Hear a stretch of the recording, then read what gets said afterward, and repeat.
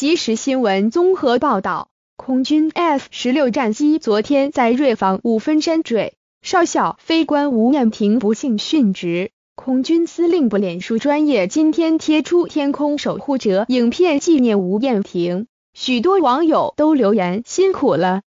任务结束，空军司令部以影片向吴艳平致敬。影片开头就是吴艳平身着飞行服的帅气模样。搭配 F 十六战机起飞翱翔天空，空军司令部写道：“无惧任何艰苦，因为国家，你负重前行，你不放弃国与家的信念，延续军人的意志。由于你夙夜匪懈，捍卫领空安全与国人的自由，守护天空下属于我们的家园。”空军司令部用影片感谢吴艳平为国家的付出，你的牺牲奉献。我们永远怀念你的精神，将与我们同在。我们永远以你为荣，并勉励其他官兵加油。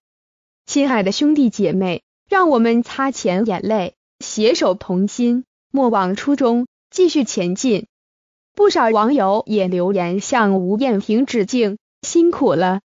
任务结束，教官您辛苦了，向你致敬。吴彦廷是空军官校九十八年班毕业，总飞行时数一千零三十九小时，F 十六战机飞行时数七百三十六小时。